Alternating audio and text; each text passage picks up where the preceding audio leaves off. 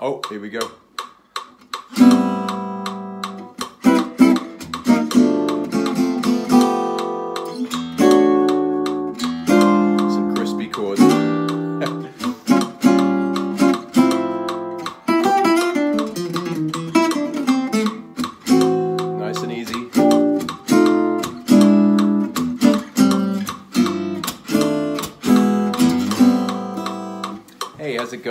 Name's Robin Nolan. Oh, switch the metronome off. Hey everybody, how you doing? It's Robin, Robin Nolan, and I'm just jumping on a late night session. It's Saturday night in Amsterdam, and I'm in the kitchen, not out on the town. And I want to show you some crispy chords which you can use in your playing to kind of make the music sound a little bit more crispy.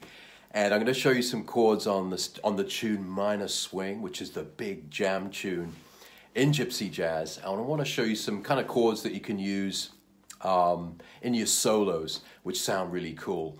And welcome everybody, uh, people from Paris already in the house. When you join the live, uh, it's great when I know where people are watching from. So just type in where you are and what you're doing, okay? And see if, see if there's some people from exotic lands. Um, if you want help, by the way, with any of this Gypsy Jazz stuff, right, if you want some guided support, then go to the Gypsy Jazz Transfusionclub.com. Students are getting big successes over there at the club, and I would love to help you too. I can, I can give you personal support there. There's all the library of courses to help you with the rhythm and solo. You'll learn the repertoire, there's guest teachers, there's live sessions, it's too much. In this lesson, I'm going to show you some chords on minor swing, okay? So minor swing is the big tune in gypsy jazz. You might well know it. I'm going to put the metronome on because that's recently I've realized like how important the, the metronome is. So I'm going to go through the minor swing changes, right? Really simply at first and then add a couple of layers to give you some more crispiness. Uh, good morning, Kevin. Sunrise in Melbourne. Okay, so minor swing.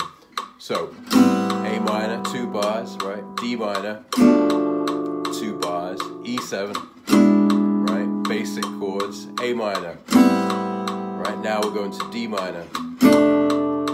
Hang on to D minor, back to A minor. Now a little B flat before the E7. A minor, thanks for the love. Right, this is minor swing changes. I kind of play the rhythm. I play the simple rhythm.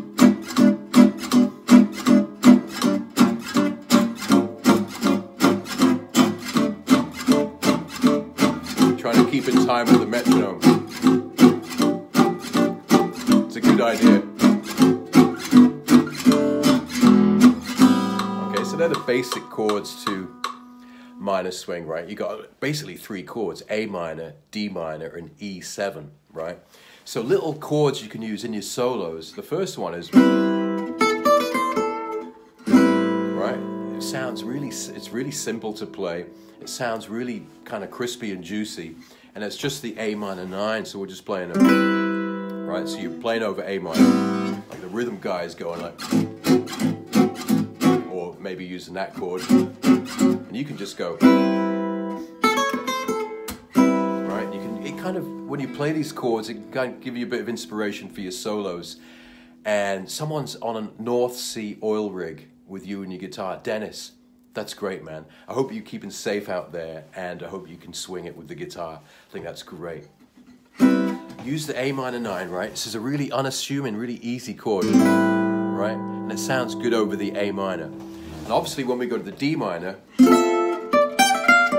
we can use the same D minor, the same voice in there for the D minor, right? So, and you might get a little lick from it as well. You, you know, let me put the metronome on. And I'll play minor swing using that for the A minor, right? 10th fret for the D minor, 7th fret for the E7, 5th fret for the A minor, D minor, 10th fret, A minor, 5th fret. Kind of sounds, there's the minor swing changes, right? So I could play with that.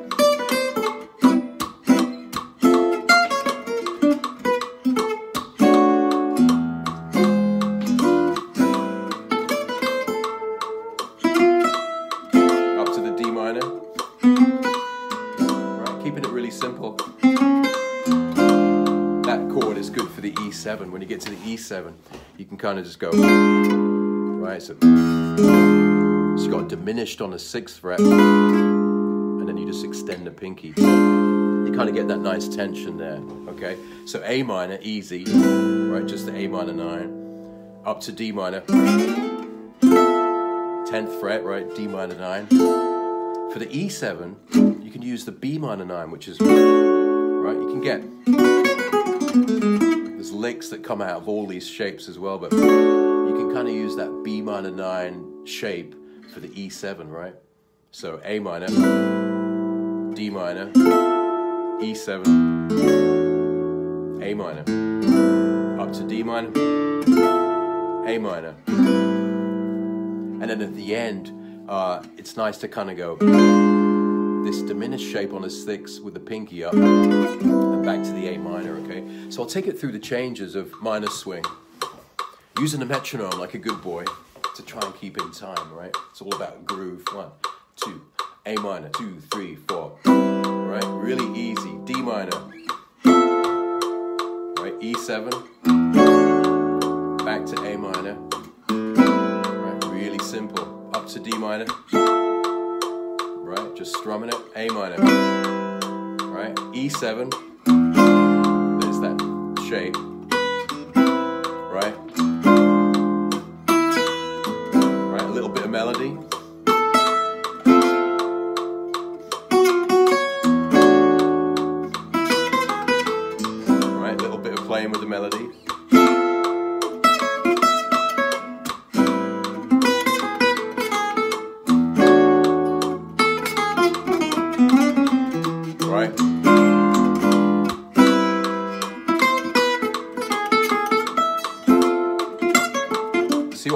Can start to you can start to build your solo using those little simple chords. Um, so I hope that sounds good to everybody. Let me just read the comments. That's a great live. Edsel says, thanks, man. I'm glad you think so. And Russ says, good stuff. Cheers, Russ. Thanks for stopping by. Um, if anybody wants help, what's the metronome speed? It's 160. If anyone wants help with all this stuff, the Gypsy Jazz Transfusion Club is where everyone's making real progress, right? You can come there and get personal coaching from me. Um, there's guest teachers, there's all the library of courses for rhythm and soloing. You'll learn the repertoire. There's a whole community of people there. I can't say enough. If you really want to get serious and learn this music, then go to gypsyjazztransfusionclub.com, okay? Uh, great tips, Ricardo says could you talk about the strings? Yeah, these strings are Argentine strings. Ricardo was asking about the strings I'm playing, and they are Argentine from Savarez. They're the best. Uh, Gary says, Can you show us those pull offs slowly? Yeah, so pull offs, I use those quite a lot in my solo. So, like,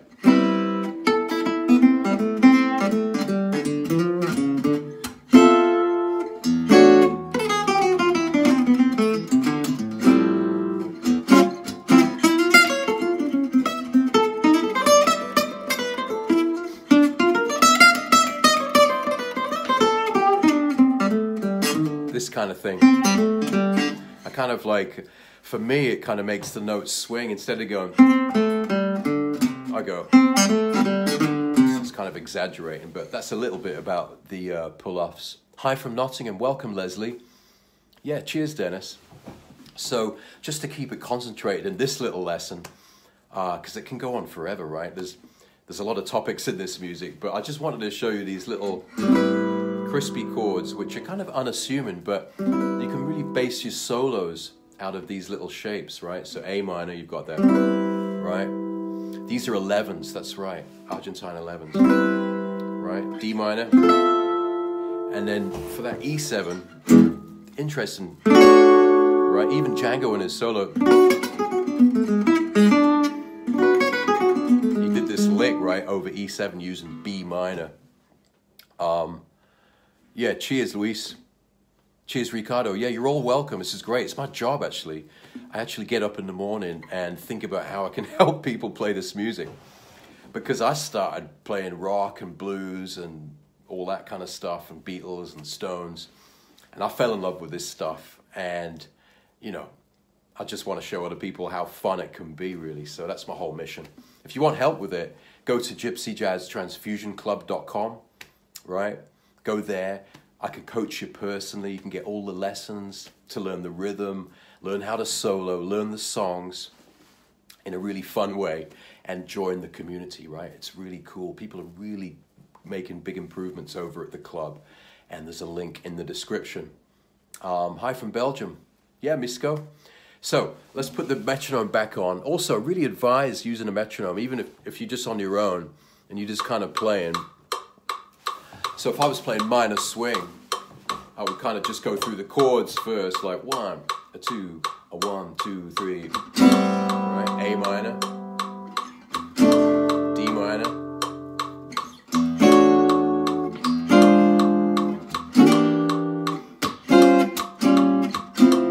D minor, just taking it easy. Right, B flat before the E7.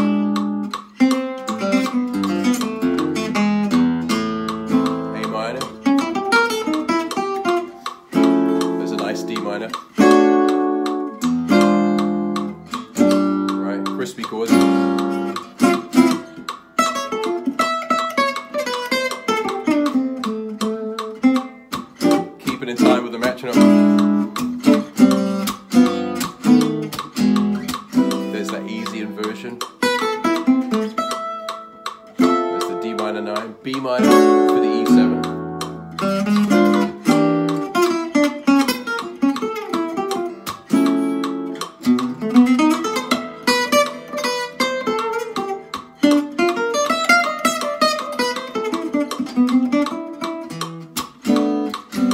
So if you've got the metronome on, it kind of gives you the pulse, which you can kind of play lead lines over to practice through the changes, or you can practice your rhythm. You know, when you practice your rhythm with the metronome, it can be really revealing. It can be, uh, you want to kind of tell it to shut up because you think you're more in time than the metronome. But of course, we all know that the metronome's in time. Um, hey, Abe, all the best, mate. Misco? Yeah, Misco from Belgium. Okay, so if I was practicing rhythm with the metronome, again, keeping it really simple. Two, one, two, three, four.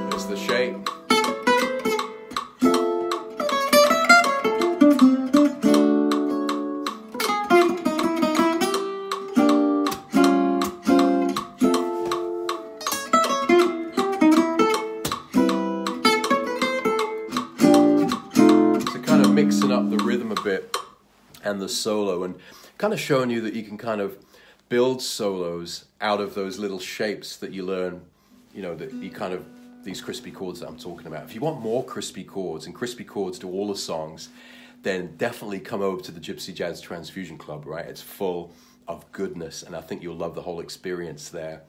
Um, this is Saturday night in Amsterdam, by the way. Where are you watching from? And send the love. I haven't seen a love heart for ages, and I'm starting to get upset. So, welcome, Jill. Welcome, Woody. Um, I've shown you a couple of crispy chords. It's endless, right? The more you know, the more you realize that you don't know. So, it's a journey that we're all on, and we're all at different places. But it's my mission to help players like yourself to kind of get into this stuff. And the way to do that is to come over to the Gypsy Jazz Transfusion Club, right? Hey, I can't say your name, Daria. Hey, Daria. And hey, Ricardo from El Paso in the middle of the day there, 3.15. Right? Welcome, Edsel from Orlando. Welcome. Yeah, Orlando, Florida. Wow. Zagreb. Daria's in Zagreb. I played in Zagreb at Bosco's Club once. That was great. Right? Okay, let's keep our eye on the ball. We're looking at crispy chords. Uh, Joe says, I bought a Gitane D500. Would you say the neck should be... Uh, let me try and see if I can see that message more. Don't worry too much about oval or D hole, really. It's just, it's just aesthetics, just the way it looks. Um, welcome from Valencia, Mark. Thanks from New Hampshire. Misco Yen, help my bro. Okay, everything's good, brother. Right, so crispy chords, right? Minor swing. Right, welcome Isaac, great to see you, brother. Minor swing, just practicing mode, right? This is this is what we can do. Metronome, good idea for sure. It's harder than you think to keep in time. Right, minor swing. Right, down to D minor. Right, you can feel the groove. E minor with that B minor shape. A minor. D minor, back to A minor. Nothing wrong with that one. B flat.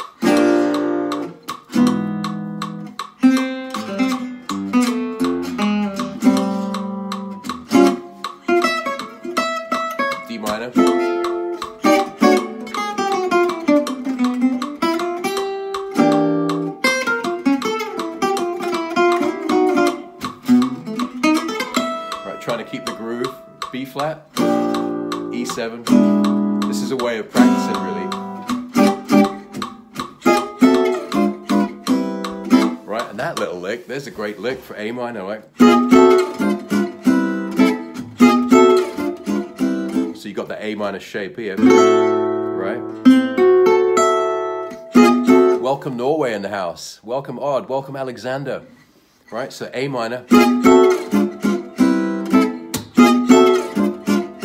Right, so there's the A minor six or whatever it's called, but that shape, right? So you barred it on the 10th fret, then you got that's A minor, and you slide up to it, right? Yeah, Misko. And then you go using that melody for that that that chord there. Then A minor. So it's all over A minor. You're just going one, two, three.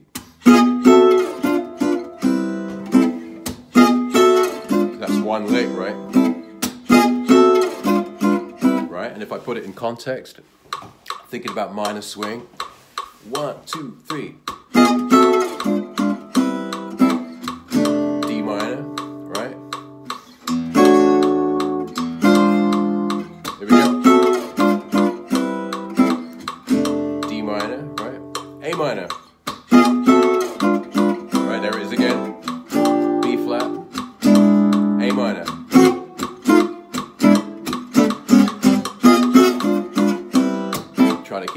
The metronome. So there's a really cool lick that. But uh Misko says yes. Yeah. Hey guys, I'm to jump off. I just wanted to show you a couple of crispy chords. It's late night here in Amsterdam. And if you want more help with this stuff, if you want me to actually kind of be your online guitar teacher, then come to Gypsy Jazz Transfusion Club and you'll get access to all the courses, the course library for rhythm, for soloing, for all these crispy chords. You'll learn the repertoire. There's guest teachers, there's live sessions with me. There's a whole community of people helping each other. I'd love for you to join the club. So you just got to go to that gypsyjazztransfusionclub.com and I'll see you there. So I'm going to get off. Lots of love. Uh, keep it crispy. Um, and love you all, okay? And see you soon, okay? See you at the club.